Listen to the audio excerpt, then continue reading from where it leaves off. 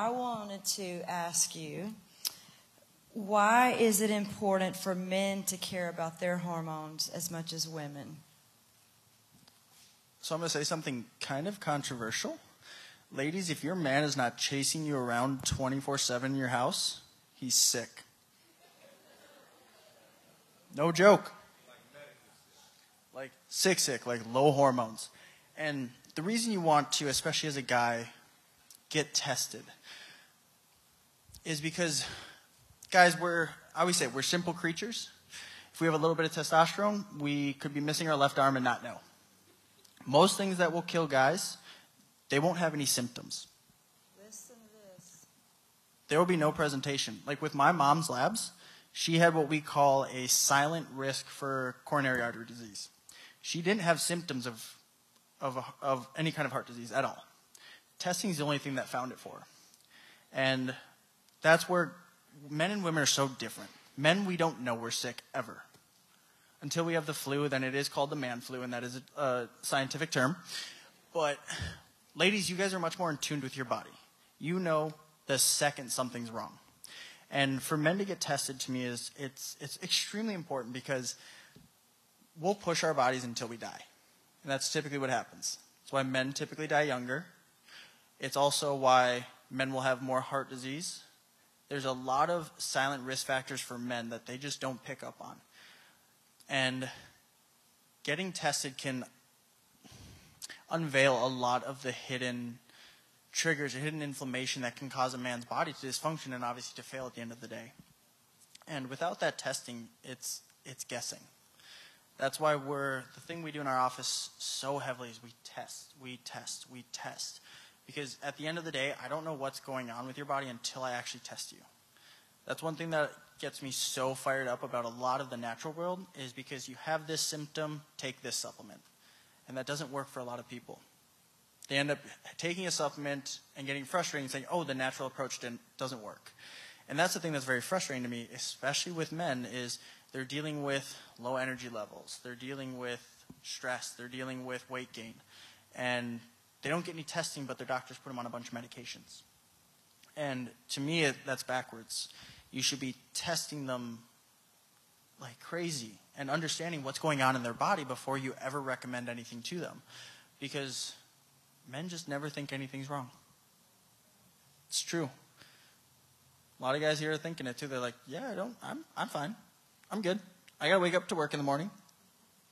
Well, you know, um, speaking on that, a lot of people, I, I think everybody's of age here, but a lot of men think the only time that their testosterone is low is if their libido is not right.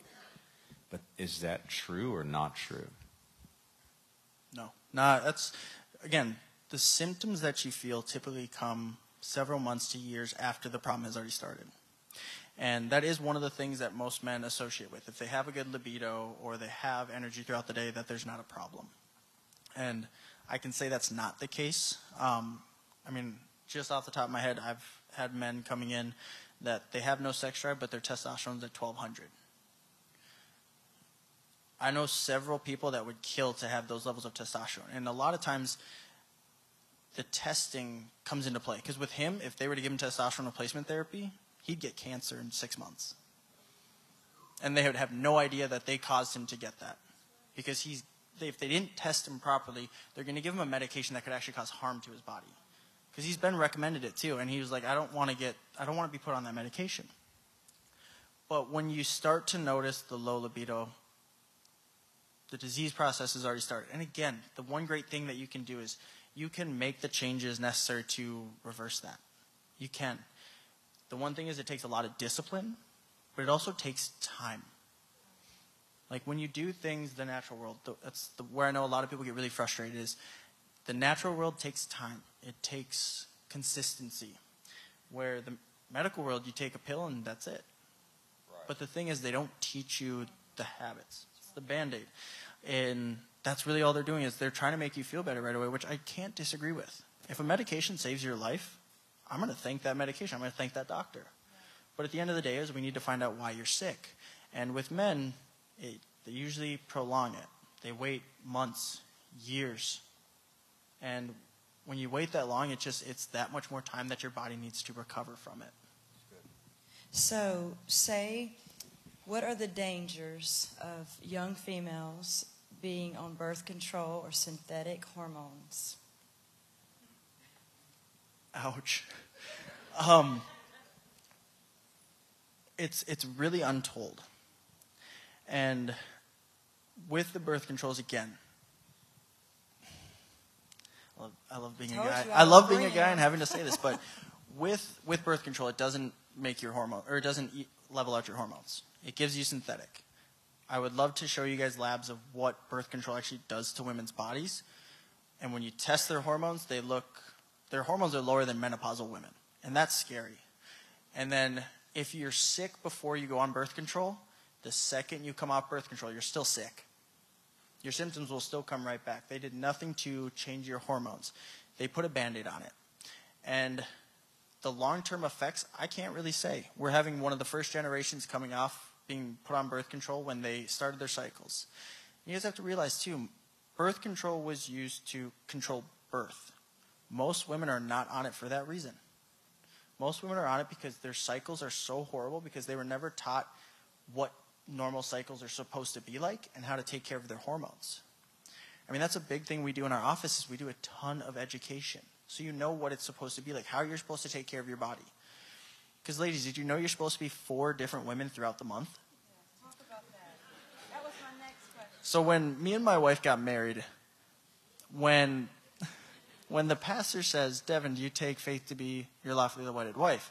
I said, "I do, I do, I do, and I do," because I knew marrying a healthy young woman, I was going to be marrying four different healthy young women. Because every month you have to think your hormones dictate who you are. They determine your mood, your energy. That's why, ladies, if you don't feel the same week to week, that's fine. It's perfectly fine.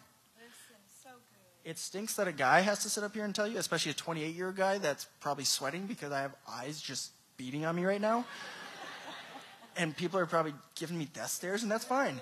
But it's something where if you are four different women throughout the month, that is perfectly fine. You're not supposed to feel the same every single day. And that's fine.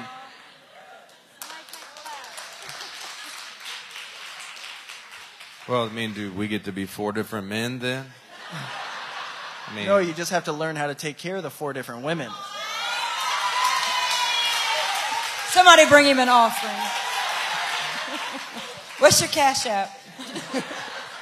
so we I don't need to respond differently That's right. to those four different women. Oh yeah.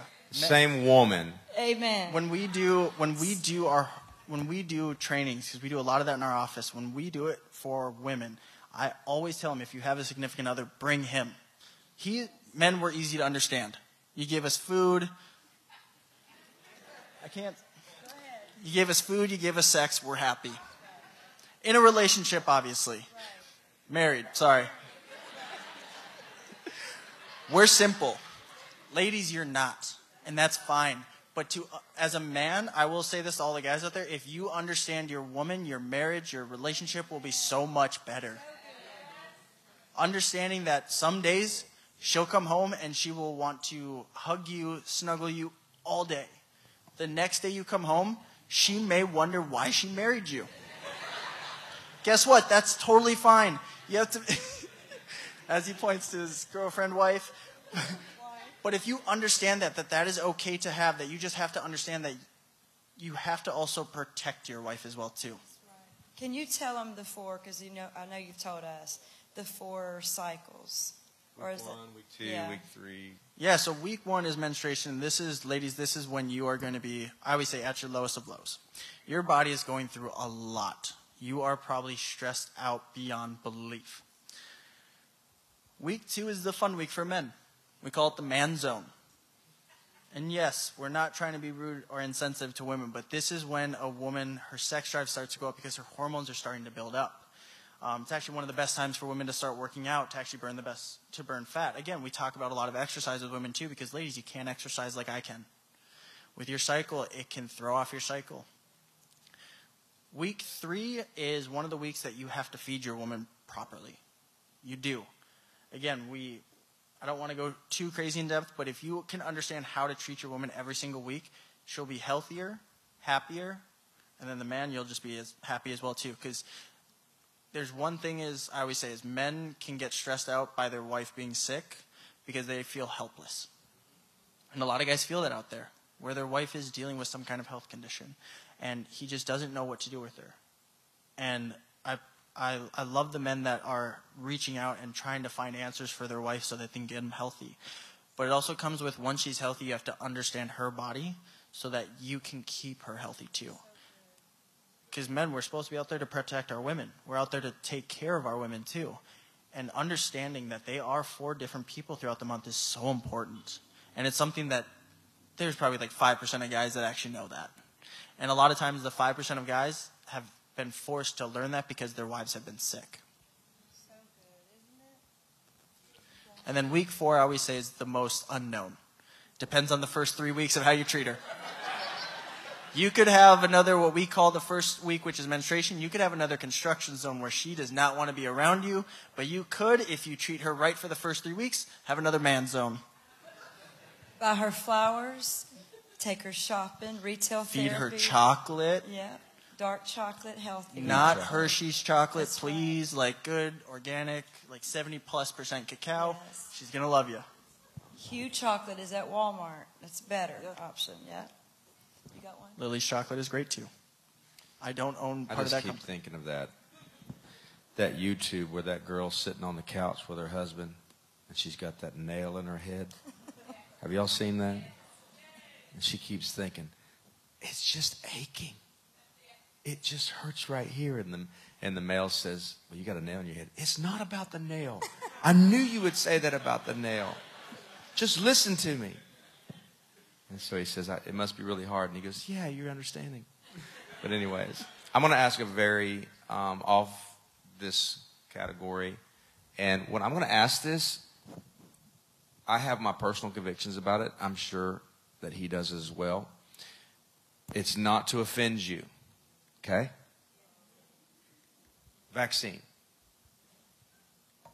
What are your thoughts on this COVID mRNA vaccine from a medical stand? What are your thoughts? Because I know a lot of people in here have had them, and I'm not trying to say you shouldn't have, but I'm saying in the future, what should we be guarded against? Because we want to see people healthy and happy live. So my stance with, with vaccines is pretty simple. What does it normalize in your body? Like, does it make your body healthy? And I've run labs on people pre and post COVID vaccine, and the results are never beneficial. It is a toxin in your body. It is meant to stress out your system. That is really what it's there to meant to do. And the thing I, I disliked the most about it was how rushed it was.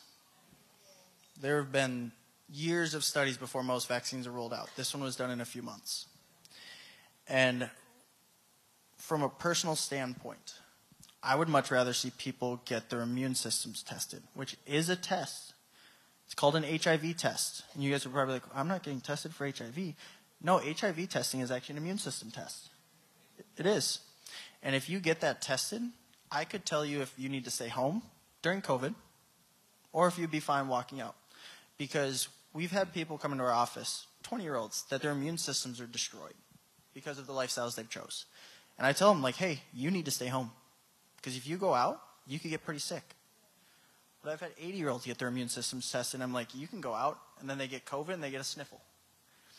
That's where I'd rather people get tested before making decisions like that. Because at the end of the day, I'm, I always say I'm a, I'm a freedom guy. If you want to go out and get it, great. I'll support you through it. I'm not a person who's going to for- say, "Oh, I think you're you're stupid for doing that," or "Oh, I think it's going to save the world." I'm not that kind of person. I'm going to give you my opinion on it. At the end of the day, as long as you still are doing the right things, giving your body what it needs food-wise, cutting out the sugars, and doing the most out of it, I'm going to support you through it. Just as long as you don't force me to do it. Because personally, I didn't take it. I'm not someone who's going to shy away from that. I almost got kicked out of school for it too because I was very vocal about it. Like, actually, like my mom got stressed out. I was six months away from graduating and almost got kicked out of school. It's something where I, I, always ask people, like, what does it normalize? Does it normalize your immune system? And with my, with my experience with the tests we've run on people pre and post shot, I, I can't say that it normalizes it. And to me, it's, it's scary what it's doing to people. And we have videos, um, especially my father in law, from two years ago, even before the vaccine was developed. And he said that this wasn't something that was going to end with lockdowns, it wasn't going to end with masks. It was going to end with a vaccine, and it was going to end with mandates. And these videos were a year before the vaccine was ever rolled out. And then we also predicted, too, that there would be much more chronic health conditions that would come up. Record highs of autoimmune conditions in the past three years, record high of cancers.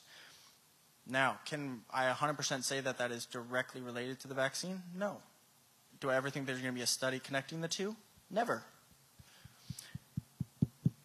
I'd rather people understand their bodies before they make a big medical decision like that. Oh, good. And if it's something where you, again, I'm not someone who is going to sit here and say, if you get it, you can't come into my office. No. I care about every single person that walks into my office, no matter what their views are, as long as they're trying to stay and be healthy. That's good. We're going to open up, so get your questions ready. But I want to just, you could put these together. Bad seed oils that they should not cook with, and eating at home versus eating out. So I'm someone who I, I obviously stay away from seed oils. It's a personal decision. And everyone, every natural, like every dietitian and nutritionist out there says, oh, seed oils are perfectly fine for you. I, I don't like to even it's it's to me where there's not enough conclusive evidence for either side right now. I just stay away from it personally. So I, I recommend in my office to stay away from them. I'd rather you cook with avocado oil, ghee.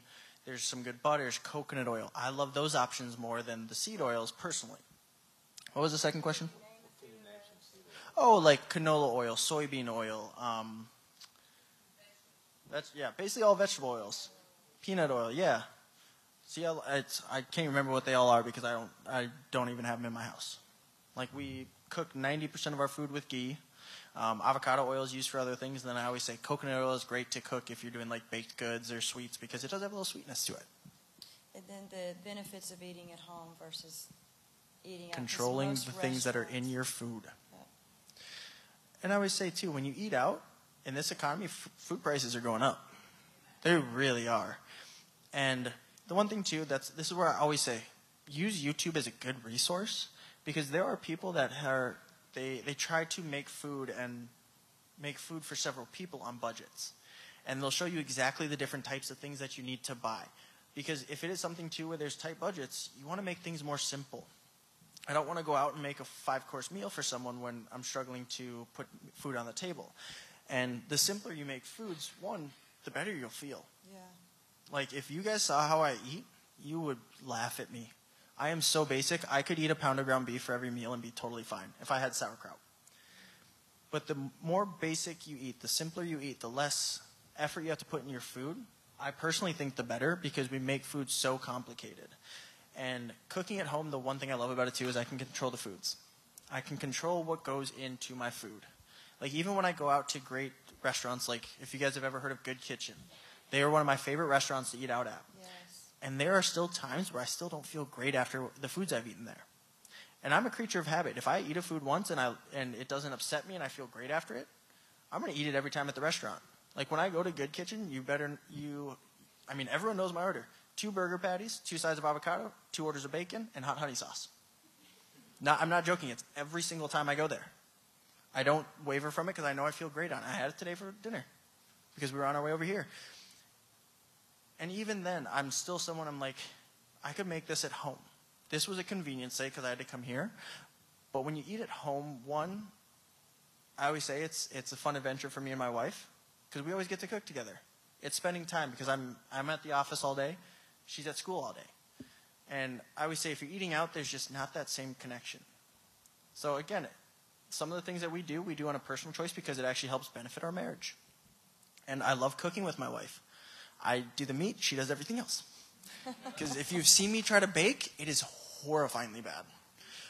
But controlling the foods you put in your body is, to me, essential. And when you go out to eat, you can't guarantee what they're going out to. That's why there's four restaurants we probably go out to eat in Atlanta Right. at, at most. And it's because you, like, I know I'm probably going to catch some slack on this, but just because Chick fil A says that they're a Christian food company does That's not mean that their food's good for you. Holy smokes. Tell it. Just Say because they're closed just say it. because they're closed on Sunday doesn't mean that their food's good for you. I'm sorry. That's right. Like the amount of employees from their corporate office that we take care of, and they get three free meals a day, and I have to tell them, hey, you don't get to eat your free food anymore because it's making you sick. But at the end of the day, I, I always say I'm, I'm very blunt, and they can attest to it. We love it. I, I'm someone who it's I'm not trying to be mean to you. I want the best for people, but I want you to get better. At the end of the day, if my mom were to despise me because I told her she couldn't have some of her sweets, have some of her fast food that she was eating before, if she despised me but she was healthy, I wouldn't I could care less. Right. As long as she's healthy. Because yes, I want my mom to meet God one day. Not today. Right. Because that's something we can control. And at the end of the day, as long as she's healthy and she gets to meet me and, fa- and her grandkids one day, that's all I care about. That's so good. That's so good. So good. Okay, I know we're going to ask questions. I have a friend who his his wife, and I promised I'd ask this question. Mm-hmm. She has not been out of the house since 2015. She's full of anxiety. She can't handle people. What are some things that she could do at home right now to get her to take that step off the front porch and get in a car? Because it's been multiple years. That's a tough question. One, I'd love to have a conversation with her.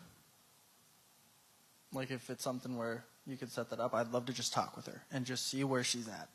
Um, and hear more because obviously I'd, I'd want to know more about where the anxiety came from or when did it start. Just get a little bit of the history. Because again, are there some great herbs out there that you can take like ashwagandha, California poppy, L-theanine? Um, there's a lot of things out there that could benefit her and get her stress levels to come down. But at the end of the day, to me, that's just the same thing as a medical approach. Is you're just covering up the symptoms that she's having. And those are some of the things that you can do. Is like some some of those herbal supplements can be great for calming her stress response down and getting her body to kind of come out of that fight or flight state. But I would also need to get some testing on her too, because again, having that severe of anxiety where you can't leave the house, and again, if it's something where it's a fear of people, if it's a it's it's a pre, um, if it's some kind of experience that she had that was negative to something in the public, that's where again, I, there's even people that I could have reach out to her and speak with her and really kind of do like again, Awesome. c- uh, consider doing like it's it's I want to say therapy, but it's a little bit different, but just sitting down and discussing what's what's going on because half the time people just need someone to listen to. Like when when it comes to that amount of stress that amount of anxiety a lot of times those people don't feel heard. Because ladies have you guys ever gone to the doctor where you just don't feel right got pms got some hot flashes something your doctors run some lab work and they say your labs are fine? It's all in your head? What does that mean are they trying to give you anxiety? Are they trying to stress you out? That's all that's doing. It's not beneficial to anyone. Getting the right approach to someone's body is is key to me. And with what we've been experiencing in the last couple of years with medical system, even the natural system is everyone just wants to give people pills, supplements, all that. No one actually wants to find out what's going on in their body. And for that person, I mean, I 100%, and that's where it's so hard for me to say, take these supplements. If it's something where she needs something to get out the door, that could be a great option. But at the end of the day, I'd, I'd rather her get all of her testing done at home, not even have to leave the house until we can figure out what's going on. That's good. Thank you. Y'all enjoying this? We have a mic right there, and if you have a question, start a line right there at that microphone. And if you could, keep it because of the many questions. We probably okay, probably need to make it as quick as a question as Mic possible. one, mic one, test. and he'll mic make one, a quick mic answer. One, test, mic one, mic one, test, test. There it is. Here it comes. Here it comes. There it is. You keep mentioning the word, or saying the word testing. Is there a testing hierarchy? And how do we know what where to start to find out what's going on in our body? Okay.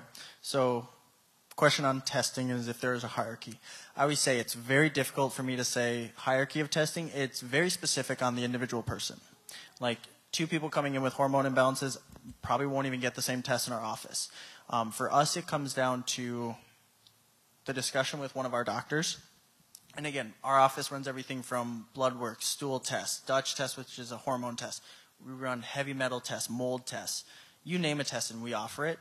Um, and it's so hard to say which test is beneficial for people until you sit down and have that actual conversation with them and figure out what they're dealing with and their history. Um, but obviously, I mean, again, there's there's specific tests that will be more beneficial for different people for different reasons. Like hormone testing, you always want to do some form of blood testing. Um, there is a stool test for digestive issues. So yes, you do get to collect your own bowel movements for three separate days with us. It's great. Um, my question was: Is cramping during menstrual cycles for women, maybe, maybe like the severity or mildness of it, an indication of her diet or health? And is there something we can do to reduce it if it is severe? Mm-hmm. So cramping during menstruation is not normal. You guys, it's called PMS for a reason, premenstrual syndrome.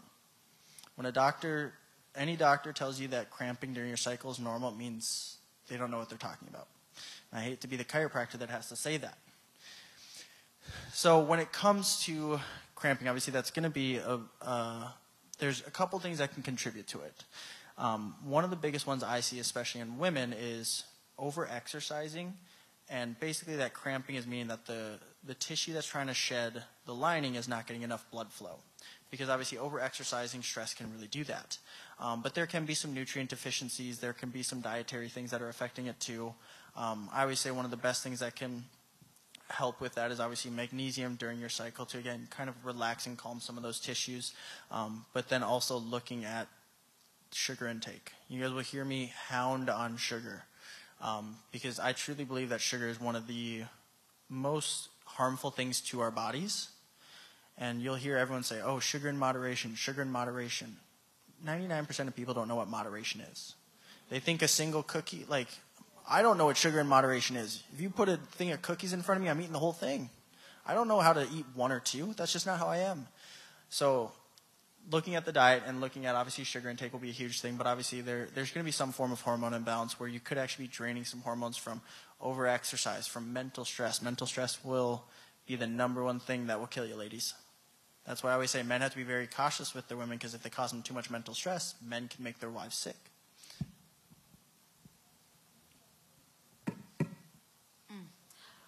Um, sorry. Um, for athletes or dancers, what are some key vitamins that help with bones and joints that you can find in your day-to-day foods? Organ meat. So it. it's I always say when it comes to getting proper nutrients in the body, I'm I'm a huge fan of organ meats. Um, obviously, getting them in your diet any way possible. Like I'm someone who I cannot eat organ meats. I have tried over and over again, um, but getting those organ meats in your diet, I do personally. I do uh, liver capsules. I do other types of organ meats in them as well too. Um, but then getting enough protein in your diet, especially women. So obviously, guys never struggle with this because guys want all the gains. They want to be the biggest guy in the gym. Um, but usually, women are probably the ones that I see the most efficient when it comes to protein intake for their, throughout their body. Um, and obviously, keeping that lean muscle mass, mass can keep you healthy, but also making sure you're getting collagen. That is one thing that most people are extremely lacking, and that's why I'm such a big fan of organ meats as well too. Good evening. Um, so I do eat fairly healthy. I've been doing that for several years. This is pre uh, COVID. And everything that you showed us tonight in, in regards to food and nutrition, I agree with you 100%. percent Now, I also have recently joined the 50s Club. And with that said, my body is falling apart, quote unquote. Um, and I say that to say that I'm just a whole bunch of new things are happening. Mhm. Okay, I am not menopausal, Okay. and my hormones are still intact. I don't have that issue. So I've been told that I need to tweak my diet even further. I'm like, how? But I'm going to do what I have to do. Mm-hmm. My question to you is, what is your opinion on what they call the OMAD, one meal a day? So, so ladies, with your this is where again, men and women are very different. I personally like to do one meal a day quite often, so I, I understand where that comes from. But when it comes to women, not eating can actually be really harmful to your hormones. Your hormones are a direct response to the foods you eat. Like me and Myles up here, we can go and do a three day fast, we can do a seven day fast, and we can recover very quickly. Okay. Well, three for Myles. I'll do another seven day fast. And I can do seven days no water and recover just perfect afterwards. Ladies, if you did, you'll probably notice your cycle for the next two months will probably be pretty thrown off. Because your hormones, again, your hormones fluctuate every week, every single day. They're always different. Me and Myles, our testosterone's always high throughout the day. We don't really fluctuate. We have a single day cycle. Our testosterone's the highest in the morning and is the lowest at the afternoon or at night when we go to bed. And again, it's not a huge difference between the between the two. Ladies, your hormones are different every single day. And this is why personally I'm not a huge fan of women fasting. When it comes to if you want to do some form of fasting, intermittent fasting, which again, I don't count as true fasting. I basically call it skipping breakfast. Because to me, fasting is 24 hours and above. But intermittent fasting, where you're actually still getting the necessary nutrients into your body, that's where you have to be very specific with the foods you're eating. But then watching sugar intake as well too. Again, sugar intake for women can cause a lot of hormonal issues, especially when it gets going towards menopause. And I always say for women in menopause, one of the best things you can do is just start cutting sugars out. Because again, that like when women talk about being in menopause and they start to notice that they they're gaining weight and they can't seem to lose that weight, no matter how much calories they cut, how much how much they exercise. Um, really looking at the sugar intake and sugar for us, you guys, isn't just added sugar. It's the carbohydrates you eat, the potatoes, the fries, um, even sweet potatoes. That's why when I say like me and my wife, we don't eat a whole lot of sugar. It even includes the carbs. Let me pause real quick and tell you a, a great collagen, if you all want to write this down, because it's on sale right now on Amazon. And he has approved it, by the way. I've been on this for a while. It's uh, the brand is Natural Force mm-hmm. Collagen Peptides. I don't know if you can see that, probably not, but um, well, you can at least recognize it when you pull it up. Natural Force is the brand Collagen Peptides. I don't know that we'll get all to the, all the questions. Yeah, just make- I apologize. I'm trying to speed up my answers because I'm kind of going long, long, but Hi, um, how do you heal your gut after a three month round of uh, oral antibiotics? I've heard that you should take the post um, pro- postbiotics and not the pre, pro, and the post. I've just heard different things, but what's what's the best recommendation? Yeah, so obviously after antibiotics, because again, antibiotics are not specific; they kill everything. Um, it does take time for your gut to heal. After I think it says anywhere from six to twelve months post antibiotics for your gut to actually fully recover. Um, that's why one of the one of my favorite things are two products I have every single day, and that's the aloe vera juice that I pulled up before. Love that for just decreasing the inflammation, increasing that mucosal lining. Um, but then sauerkraut too, because that has the pre postbiotics as well in it. Um, that's where again testing is always my best friend with that too because again i can't say what your gut's dealing with because again you could have before you had the antibiotics had sibo which is you had too much bacteria and the antibiotics help bring that level down. But it could be too that it wiped your microbiome out where you actually might need to reintroduce those bacteria. And again with with probiotics i'm not a big fan of them again, I use them in very specific cases because I think they can do more harm than good for a majority of people. Um, but that's where testing can be huge for it. So I would say starting with the aloe vera juice, the sauerkraut, but then obviously getting some getting a stool test, which I know is a glamorous test. You have to collect your own bowel movements for three three days in a row. It's awesome. It's the most exciting test we have. Um, but understanding what's going on in the GI is really huge. But yeah, the, the aloe vera juice and sauerkraut. Again, I'm I'm a very basic person. I don't I'm not going to recommend a huge supplement list to you for that. Hey, how you doing? Good. Um, so I had a question for building programs for women. I'm a personal trainer, so I'm wondering what's like the proper exercise level for a week to week basis. Typically anywhere from one to 3 sessions a week, one hour each. Uh, but what's appropriate given what you Yeah, so it, it really depends on her cycle. And this is where, like, we have an easier graph to hand out. If I, I'll grab your information after this so I can send it to you. Um, weeks two and four for women are going to be the best times to do intense exercises. And now, ladies, I'm not telling you throughout the month on weeks one and three you can't work out. It's just to the intensity. If you're pushing your body extremely hard every single day of the week, you're going to make yourself sick over time. Weeks one and three, you want to kind of taper back, doing more stretching and obviously keeping your intensity low so you're not raising your heart rate and depleting hormones. But then weeks two and four, where you can really push your body. These are the best times for you to have weight loss, and obviously the time when your hormones are already on the decline, so uh, it's not going to cause as much detriment to your hormones and cause problems down the road. Um, I'll get you a, a graphic that has a lot of just, I mean, it's a basic graphic that just shows where you want to spend the intensity. Um, and again, the exercise I always say is up to the lady. If she likes CrossFit, do CrossFit. I always tell people the most overlooked exercise though is walking. Like every personal trainer that, or I shouldn't say every, but a majority of personal trainers will tell you 10,000 to 20,000 steps. Because I love walking. It's extremely beneficial after meals and everything. But yeah, weeks two and four where you want to go high intensity, really push their bodies. They can do heavy cardio. Um, but weeks one and three is where you kind of want to taper down and obviously focus more on possibly more mo- mobility during those times, or even just focusing on form on weeks one and three. So weeks two and four can be like the max out weeks. Um, is I guess this could be a general question and a little bit more personal, but in my family, um, pretty much every woman has had a hysterectomy before the age of 35 because of fibroids. So, can you maybe speak a little bit on how that could be tied into diet and like what things I can do now to be proactive about it? Yeah, so obviously, I mean, again, something that is uh, unfortunately common nowadays is hysterectomies. And the one question I always ask people, because again, I don't want to ask questions and then not be able to provide solutions, but how many more body parts do we have to rip out of people before you get healthy?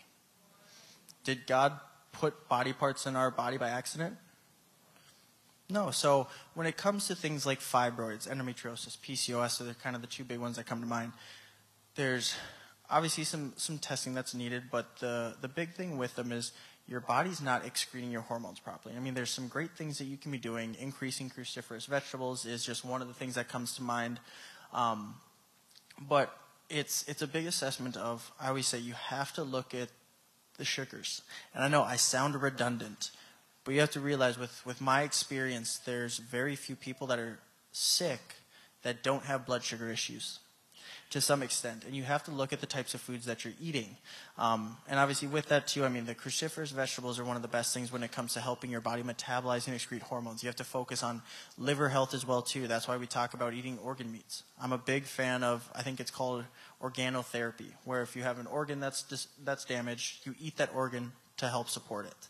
Um, but getting your body tested is a big thing and understanding your hormones too because if you start to notice them early getting a jump on that before you get in your 20s 30s and you start having long-term issues um, is kind of the best thing to start doing Thank you, and God bless you for sharing um, your wisdom with us today. Um, my question is, um, what are some brands that you can share with us that include all of these things that you're talking, all these foods, yeah and grocery stores maybe? Yeah, so grocery stores, I mean, you can go from everything from, I mean, obviously I, I'm, I'm always biased. I like Whole Foods because you can kind of get almost everything in one place. Nature's Pick is another one too because Nature's Pick is the only place that I can find duck eggs at. Um, and because I can't have chicken eggs, I'm actually allergic to them. Um, Sprouts is another good option. Again, I've I've been able to find good organic foods at Target, at Walmart. Um, obviously, the, is the selection a little bit less? Yeah, but of of course you can still find those foods there. Um, one of my favorite places too is, and this is just me personally, I like supporting local. Um, so I always go to farmers markets on Saturdays. Like the Marietta one is one of my favorites. They've got Eden Pure beef, and the one downfall is, is again, yes, their beef is very expensive. Um, when you meet the farmer, I can't remember his name right now. He's hilarious. I love him to death. Um, but then there's other good options there too. I know there's another there's another couple that they have a local uh, local farm as well too, where they do grass fed, grass finished beef. Um, and I always say when if it comes to supplements, I'm always biased. We have our own our own brand of supplements, um, but there's other great ones out there too. Like if people always ask me questions of is this a good brand? If it's something that's as good as ours, I'll let them take keep taking. I'm not going to say that you have to take ours. Um, but like when it comes to like organ capsules, there's Ancient Nutrition, I believe, is the company that has. No, sorry, that's that's bone broth. Um, trying to think of the names off the top of my head. Um, but when it comes to local stores, like yeah, Nature's Pick, Sprouts, Whole Foods, um, I can find good things at Target all the time. Walmart, same thing. Um, and then obviously farmers markets are just my big thing. I like supporting local local people mostly. What about the brands, like in those stores? Oh, Brands. for foods? yeah. Do you know what kind of beef we buy, babe? I don't even remember. I'd have to take pictures. Like when it comes to like sauerkraut, like Bubby's you saw on the screen was that one was my favorite, and Maverick. Maverick. Maverick beef is grass fed, grass Yeah. finished, and the pre-packs. Publix. Mm-hmm. So, when it comes to those specific, like the beefs and things like that, again, I'm I'm a big local person, so I always buy. I can't remember the farmer's name now. It's it's bugging me. It probably is Farmer Dan, um, but it's it's Eden Pure Beef. He actually has a local farm that's about two hours east of here. He's at the local Marietta Market every weekend, and like it's it's amazing how good like organic and like when you comment on any of his posts, he'll comment back said our cattle is never vaccinated, never been on antibiotics, no growth hormone, nothing, as natural as you can possibly be, and it's amazing how good it tastes when you just cook it with butter. Delicious. Like you don't need seasonings at all, and I was shocked when I first tasted it. Good evening. Um, so I've been on a journey for the past year now on restoring my hormones. Okay. And I've pretty much cut out a lot of junk. I'm not really a fan of sugar, soda, candies, not too much, but Good. I'm still struggling with coffee and salt. How do those affect my hormone healing? Love coffee, but I would say there's caveats with with foods I love. Um, coffee is one of the highest mold-containing foods out there, and I'm a, and again, that's where coffee gets to be expensive too. Like I'm a big proponent for the Bulletproof brand coffee um, because they test their coffees for molds, metals, everything, and I like that because um, again, I don't want to be putting things in my body that I know are going to harm it. So coffee, I'm a huge fan of. Obviously, if you don't have an adrenal issue too, though. So there are some caveats with these things. Again, is there times that I've had to take patients off of coffee? hmm Is it rare? Yes, because I know how miserable most people are without coffee. Um, salt is again, I'm a huge fan of salt. Um, I personally take handfuls of it and eat it throughout the day. Yes. Like, and it's, but it has to be the good, like right. Celtic sea salt, pink Himalayan sea salt, Redmond's real salt.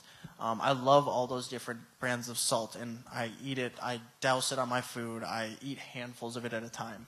Um, absolutely love salt. I want to jump in there with you because just to kind of speak into the whole salt thing, I'm a salt lover. How many are salt lovers in here? Okay. Table iodized salt, the bleached salt, actually does cause high blood pressure, but the others do not. Mhm. It doesn't make sense because we've all just trained ourselves to think salt is salt, but it's not. You have to take right salt. I'm actually loving throwing handfuls of salt on the steak with a stick of grass fed butter. I'm like, how am I not going to get a heart attack? But it's the truth. I've had, I had to talk to him and say, listen, I, I'm eating everything that everybody's told me all my life not to eat because it could cause heart attacks. Because my family has heart attacks in, in, my, in my, my ancestry. But it's salt. Yeah, and you have to realize too, like when it came to my mom's labs, like she was at a very high risk for a silent coronary artery disease. She was doing everything that every medical doctor would tell her to do: eat less red meat, eat more vegetables, eat more fruit, Low salt. low salt.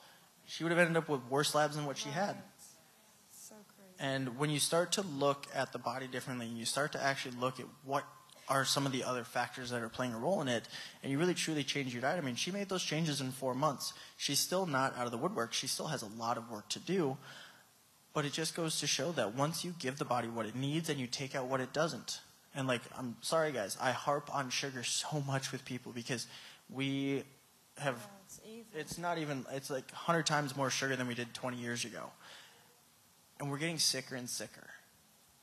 Like we have more autoimmune conditions more infertility more cancer more digestive issues than we did 10 years ago. But we have more medical interventions. We have better medications better surgeries. But we're still missing the lifestyle part of it. And that's where some of the things we, we say and we do sound crazy to people but once you start to implement it, you cut out the things that are actually causing a lot of inflammation in your body, you'll start to be like, okay, holy smokes, like maybe this is achievable, attainable. Redmond salt is a great brand. You can get that on Amazon as well. And Celtic salt, Mimi loves that. But it, literally in the morning, if you put just a drop, a little bit on your tongue and let it sit there a minute, then drink your water, it's a life changer for Mm-hmm. Real. It it. really is with energy.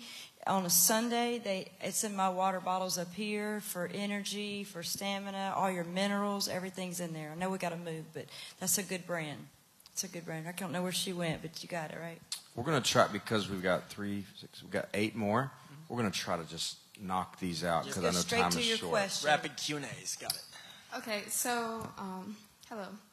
I think she had asked the question about gut, but what would you say is the best thing to heal your gut, like gastritis in your esophagus? If I had to give one thing, oh, I'm a big person on testing, so I, I have to be a little bit biased. I'd want to get a stool test to see what's going on.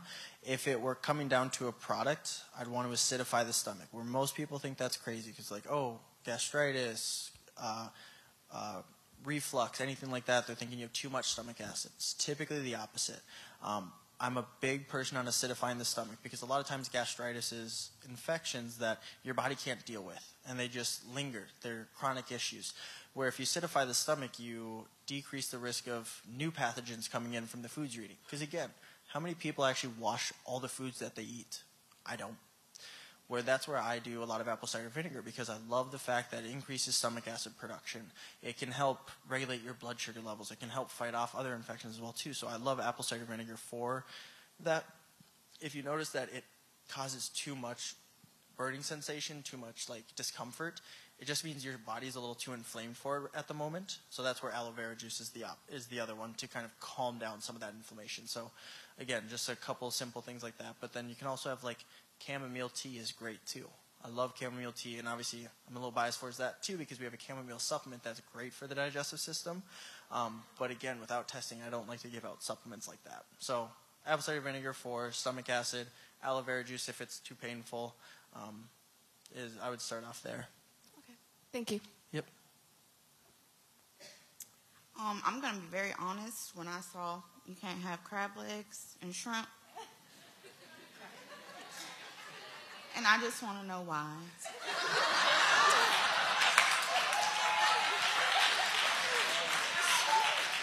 I'm getting attacked. No, so no. Here comes the blunt. So they're they're bottom feeders, and obviously uh, with if our oceans were clean, I'd have zero problem with them. He did tell me I could have shrimp every now and then, though. Yeah, and it's something Every too. Again, then, at the end of the day, these are recommendations to avoid as often as you can. Um, but when it comes to shrimp, crab, lobsters, they're bottom feeders. They're eating everything at the bottom of the ocean. And typically, our oceans right now aren't the healthiest. There's a lot of stuff that's being thrown into them. There's plastics, there's metals. Um, and obviously, when they, they do research on what the toxins that are building up in these, uh, these different types of animals are, and they just see that these things don't really get rid of toxins very well. They kind of hold on to them. So they're just seeing higher levels of heavy metals, mercury, those different types of things. That's why when you even look on that um, to avoid list, there's specific types of fish from different areas that we say to avoid because those parts of the ocean have higher heavy metal concentrations based on other areas too.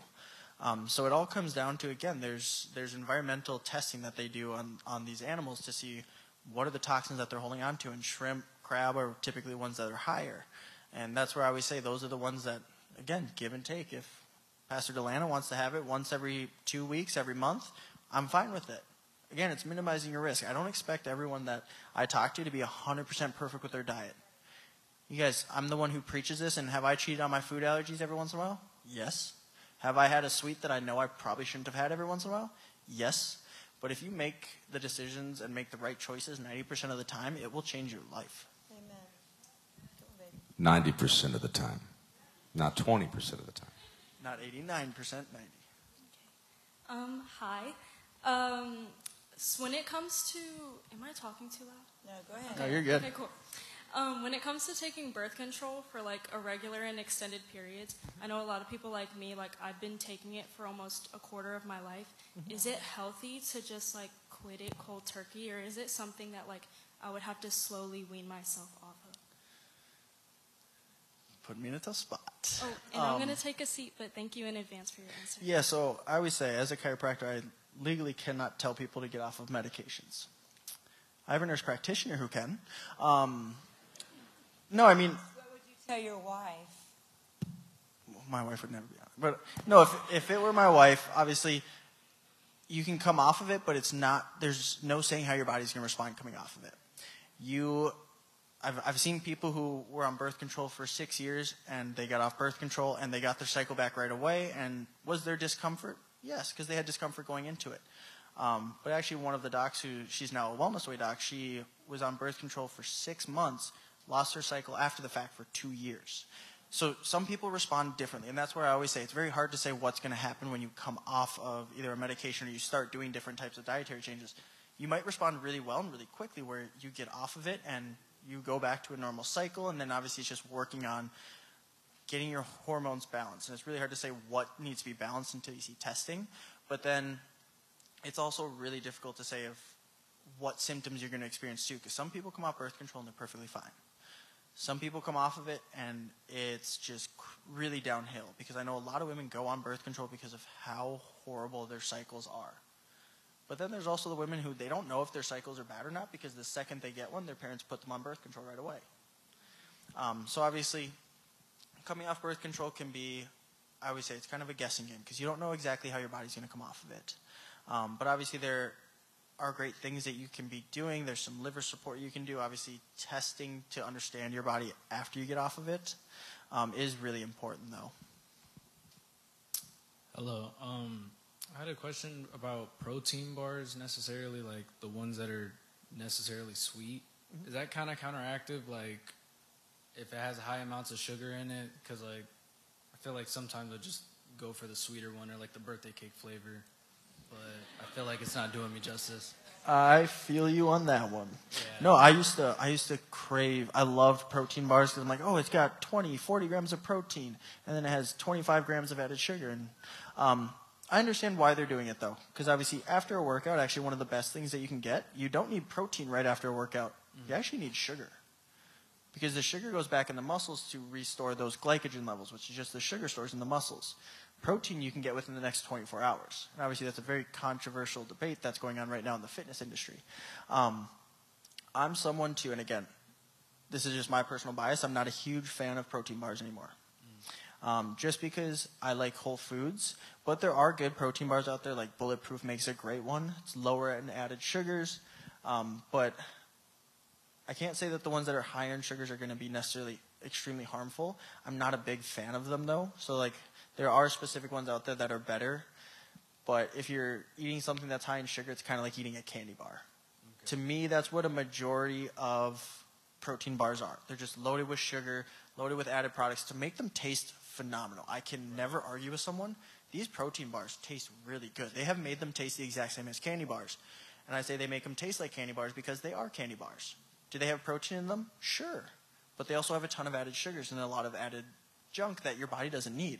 Um, so obviously finding something that's going to be less with the added sugars or just, I'm a huge fan of eating whole foods.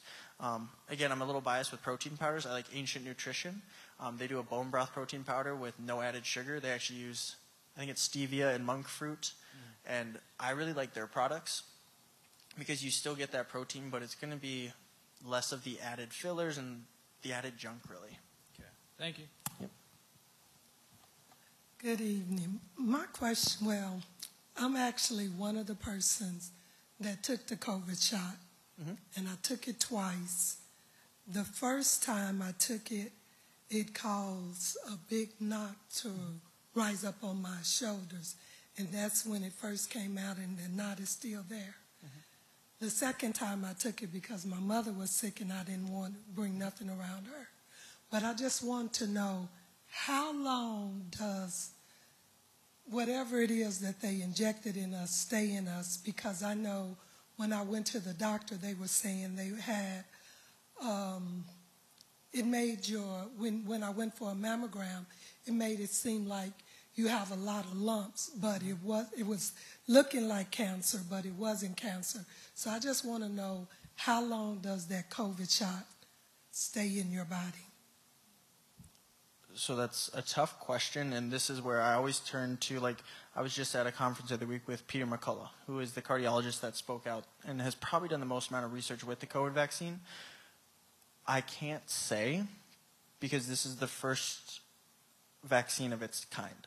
Mm-hmm. With it being mRNA, mRNA like that, we don't know how long it's going to stay in the body, and they've they've tried to do studies to see what can be the most beneficial to help with detoxing it out. And I always say it's it's very hard for me to even recommend those because again, they they don't know the long-term outcomes of the studies.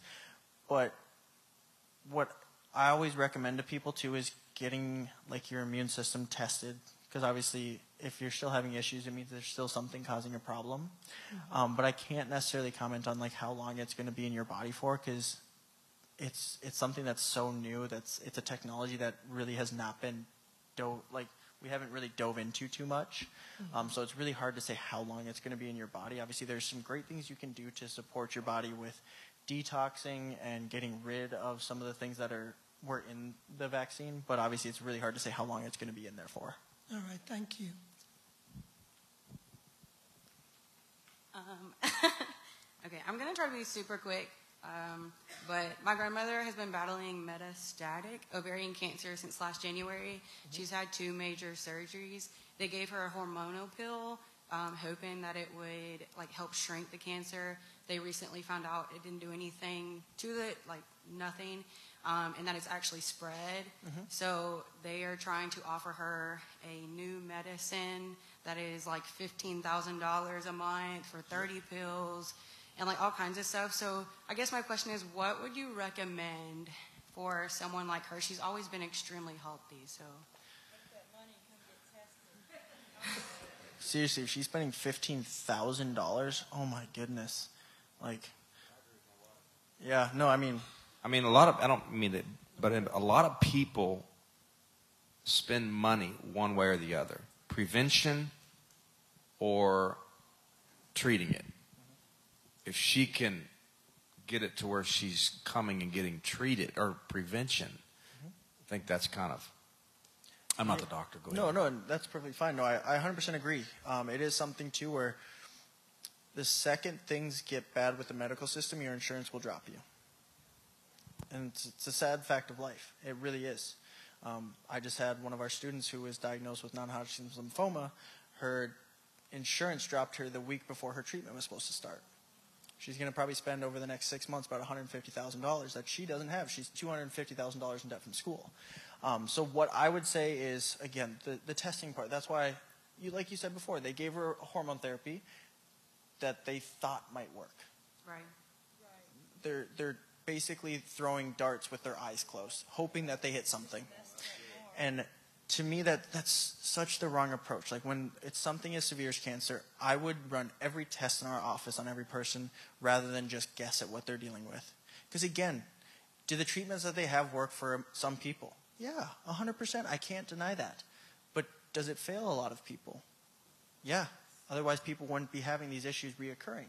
Um, but what i'd recommend for her is obviously getting some hormone testing to actually see where her hormones are at testing her immune system. That is one of the most overlooked things when it comes to when it comes to cancers. Um, but then also getting a history too, because I mean, I always say like I have to assess where the the person is coming from, because I even go back to look at where they grew up, what kind of lifestyle they grew up with, because again, cancers take several years, decades to actually develop. And sometimes it can go back to, hey, they were drinking water out of a well that they found that there was heavy metals in that water, in that well water. And if you don't go back to that time frame, you miss that, and you don't t- run some kind of heavy metals test, you're missing one of the major uh, triggers for her body. Um, so it would be come down to testing, but obviously the conversation too to see where her history really came from. Okay, and you have those testing at your office? Like she can go there and. Yeah, because where where's she located? 'Cause we have 60 plus offices over the U.S. Oh, she's in Marietta. Oh yeah, we have everything in the office. The only thing we don't have is a phlebotomist. If you guys know of a good phlebotomist, we are hiring. Okay, thank you so much. Welcome. Hello, thank you for your time. Um, I have one question. Well, the question is uh, you mentioned four restaurants that you and your wife attend. I'm new to the area. I love this church too, by the way. Um, so, um, what are the four restaurants you mentioned that are healthy? Yeah, so big one, and this is the one that I'm. I mean, we eat at 90% of the time is Good Kitchen in Marietta or the Good Kitchen in Smyrna. Um, Veronica and Peter are the owners. If if you go, I will give you a kind of a prelude. If you go to her restaurant and she starts talking to you, be ready to talk for about two hours.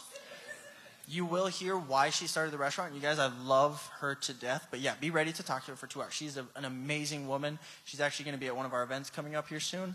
Um, Good Kitchen is number one by far. Um, one of the juice places that we have too. Uh, I also know the owner of that. Her name's Amy. She's a wonderful woman. She's actually a neuro, a neurosurgeon, something like that. I can't remember. A tech to a neurosurgery. Um, it's called Updog.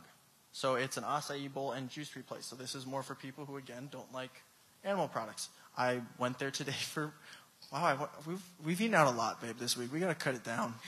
Went to Updog for lunch. Went to oh my goodness. Yeah, it is final. She's stressed out. She's done. She passed. Um, those are two of the more local restaurants. We also like places like, and this is um, more of one that it's kind of a chain, but First Watch. They have and they have good options. And again, I'm I'm a million dollar bacon fan. Two orders a million dollar bacon, woo. But they have like avocado toast with gluten free bread. Um, they have. Huh? And again, there's probably places that I don't know about because I've only been here for about a year. And like I said, me and my wife are creatures of habit. Like, do we like to experiment every once in a while and try new restaurants? For sure. Like, 101 Steakhouse is one of my favorite steakhouses. We have gone there for every big event we have ever had. We have a specific server that we ask for every time we go there because he is amazing. Um, and that's where, like, fancier restaurants, again, you pay a prettier penny, but you know the food you're going to get is a better quality. So, one thing I do love about Atlanta is there's all different types of food. Um, and I'm always, again, we're always trying to find those connections to different healthier restaurants, but Oh, it's Good Kitchen, Updog, um, First watch. True Kitchen, and First Watch. Um, oh yeah, there's an organic Thai place actually right by our event this weekend. It's called El Thai. It's organic Thai food. It is delicious. Yeah, gluten free, dairy free, vegan. It is delicious. Yeah, El Thai. El It's literally L dash Thai. I will say that I heard, I don't know if this is true yet, but that Sweetgreen was about to change their oils and not do in October. They're supposed Most to be going to avocado oil instead Yeah, so a lot oil. of a lot of healthier restaurants, especially because of the the app. It's Seed Oil Scout, and the one thing I don't like is that they make you pay for it now. Ridiculous. it It used to be free. Seed. So Seed Oil Scout basically looks for the restaurants that don't cook with your vegetable oils, canola, soybean, all of those. Um, they try to cook with either avocado oil or ghee, butter, things like that. And a lot of healthier restaurants are kind of being exposed because they use seed oils, and that's obviously been a huge controversy lately. So a lot of people are transferring over to those healthy restaurants. So I'm sure that they're probably switching their foods It's now. thirty four ninety nine a year for that. It's the Seed Oil Scout. I just Mhm. got it this week. Yeah. And also, who is switching over to avocado oil is Krispy Kreme. So, I'm telling you.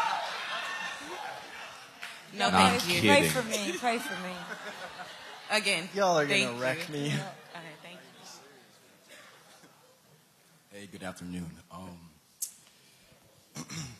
stop, stop, y'all. All right, so my question is, what are your opinions about seasonings, and do you have any recommendations regarding dropping your A1C besides exercising and your diet? So seasonings, do I have like again? I personally like if it was me between me and my wife, I'm very simple. I had salt and black pepper to everything. Um, she's a little bit more fancy than I am. Um, like when we make taco meat, she has to have some kind of taco seasoning. Again, I can't remember what the specific brands are. Siete's, I know Siete is one of the big ones. Um, they have really good organic options. Um, trying to think of some other. Yeah, Organic Valley. Um, we use a lot of that, but again, I'm a, I'm a, again, I'm a creature of habit. Salt and pepper for everything. I'm very simple with it. Um, dropping your A1C, that is, it really is diet heavy. Um, if you want to make a true change in it too, you have to, have to, have to cut out sugars. And I mean everything from your carbohydrates to even your fruits for a short time. Because, like with my mom's labs, like her sugar was her big issue. She still to this day, since those tests in October, has not gotten a piece of fruit. Because at the end of the day, when it comes to her labs, we're seeing the changes we want to see. And when it comes to A1C, obviously it takes time, because again, that's a three month average of blood sugar. But cutting out the sugar so your body can start to heal and repair. Basically, it's giving it a break. Um, but other things that you can do to help benefit A1C are things like apple cider vinegar. Again, really helps with blood sugar regulation, insulin sensitivity. Um, yeah, it like A1C really is comes down to the things you do every single day. Even though it is an average over three months, like you could really throw it off by having a bad week. Um, so avoiding those added sugars, avoiding the the carbohydrates, and again sticking if you do need some fruit in your diet. Just because again, obviously, I'd need to know more of the history, like other things that are causing some issues as well too.